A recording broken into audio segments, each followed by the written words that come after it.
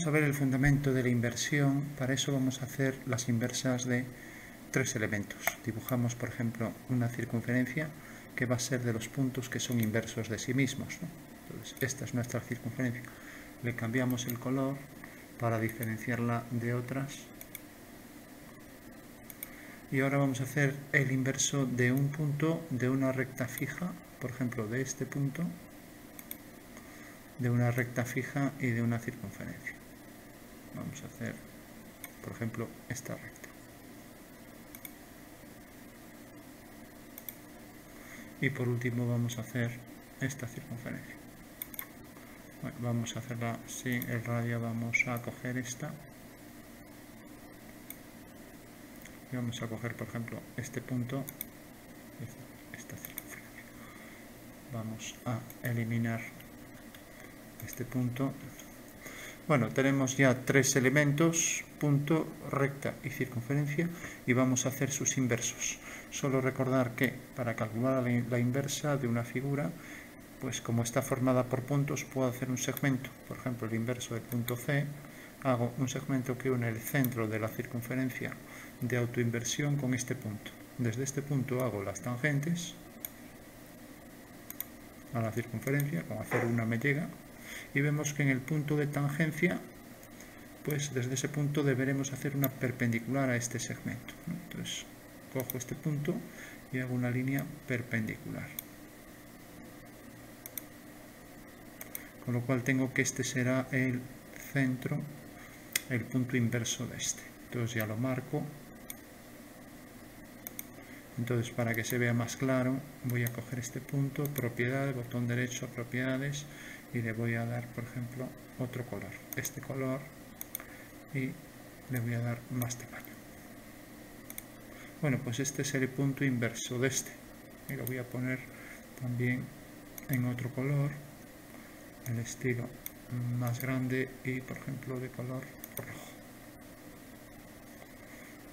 Bueno, tenemos entonces un punto y su inverso y vemos que siempre si muevo el punto pues siempre se cumple que si hago las tangentes en el punto de contacto hago una perpendicular a la línea que une el centro de inversión con este punto y ya tengo entonces la forma de obtener este punto. Lógicamente si yo acerco este punto pues se transforma en sí mismo, por eso decimos que la circunferencia de autoinversión es inversa de sí misma. Es el lugar geométrico de los puntos que son inversos de sí mismos. ¿no? Y si esto entra dentro, pues el otro saldría fuera. Entonces podría venir aquí y decir hago el inverso de este punto respecto a esta circunferencia. Bueno, no me lo hace, pero saldría fuera porque el procedimiento sería el mismo. Entonces, a ver si con un punto aquí me lo hace. Entonces vengo aquí, digo inversión de este punto respecto a la circunferencia. Bueno, aquí lo hizo, en este caso pues no lo ha hecho, pero bueno, como vemos ese sería el procedimiento. Aquí una vez que hemos hecho esto, como hemos hecho las tangentes, a lo mejor impide que una vez dentro, al no haber tangentes, ni, pues lo pueda ejecutar. Lógicamente si esto sale fuera, pues el otro entra dentro, lo que decíamos. ¿no? Y por último, si este punto, como vemos, si se acerca, coincide. Y si se va al infinito, pues el punto verde Cuanto más se acerca al infinito, más se acerca hacia el centro. ¿Qué pasaría si dejamos el rastro de un punto que se desplaza, por ejemplo, por esta recta? Entonces hago el punto, marco un punto en una posición cualquiera, a ver, el punto en una posición cualquiera, y ahora este punto lo voy a marcar en otro color, por ejemplo, en este color. Voy a darle también, para que se vea mejor, mayor tamaño. Y ahora hago el inverso de este punto. Sabemos cómo calcularlo igual que hicimos aquí. Pero me interesa en este caso saber qué es lo que pasa con la recta con la inversa de la recta. Bueno entonces basta con que venga aquí y le diga activar rastro de este punto. Entonces al desplazar el punto sobre la recta vemos que ahí va saliendo una circunferencia. Como tenemos un tramo muy pequeño pues bueno no pero si me muevo aquí vemos que pasa la circunferencia. Bueno, pues entonces sabemos ya que la inversa de una recta por regla general es una circunferencia. Excepto que la recta pase por el centro de inversión y vamos a ver por qué. Cojamos entonces, eh, vamos a hacer la inversa de esta recta y vemos que efectivamente la inversa de una recta respecto a una circunferencia de autoinversión pues es una circunferencia que pasa por el centro. Pero ¿qué pasaría si, por ejemplo, ahora cojo este punto o este punto que era el que definía la recta y lo muevo? Pues vemos que la circunferencia empieza a crecer según me acerco a, a la circunferencia de autoinversión. En el momento que corta la circunferencia rosa, como estos puntos son inversos de sí mismos, pues pasa por aquí la circunferencia y sigue pasando por el centro. Pero en el momento en que esto se va haciendo cada vez más grande, llega un momento en que pasa por el centro de autoinversión y entonces se convierte en inversa de sí misma, excepto sus puntos, ya que si cogemos un punto de la recta, al inverso de este punto, pues sería este, por ejemplo, más o menos por aquí. Bueno, pues ese sería el fundamento que si alejamos esto, pues cuanto más lo alejemos, pues esta circunferencia cada vez se hace más pequeña. Mientras que sabemos que si corta la circunferencia pasa por esos puntos y si pasa por el centro, la recta se convierte en inversa de sí misma, aunque no sus puntos. Bueno, pues ya sabemos entonces que la inversa de una recta es una circunferencia. Para quitar el rastro movemos un poco con la rueda del ratón hacia adelante o hacia atrás y ya borra todo el registro que ha dejado la línea. Por último, si hacemos la inversa de una circunferencia, vamos a hacer, por ejemplo, un punto de la circunferencia y movemos este punto. Bueno, pues la inversa de, si calculamos los inversos de todos estos puntos, pues saldrá aquí otra circunferencia.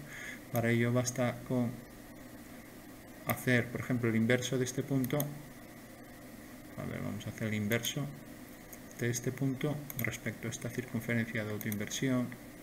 Y ahora, si movemos este punto, y aquí vamos a dejar el rastro, entonces vemos que al mover el punto, el rastro que deja es otra circunferencia.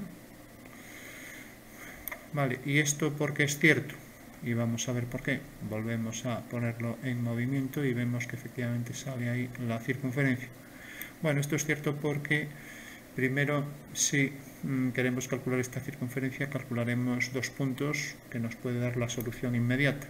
Entonces unimos este punto con el centro como hicimos antes para calcular esto y desde estos dos puntos calculamos aquí sus inversos que serán estos dos con lo cual ya tendremos la circunferencia que pasa por ese diámetro entonces marco aquí la intersección marco el inverso de estos dos puntos entonces tengo aquí inverso de este punto respecto a esta circunferencia y de este punto respecto a esta circunferencia a ver, repito que parece que no está haciendo inverso de este punto respecto a esta circunferencia y de este punto respecto a esta circunferencia.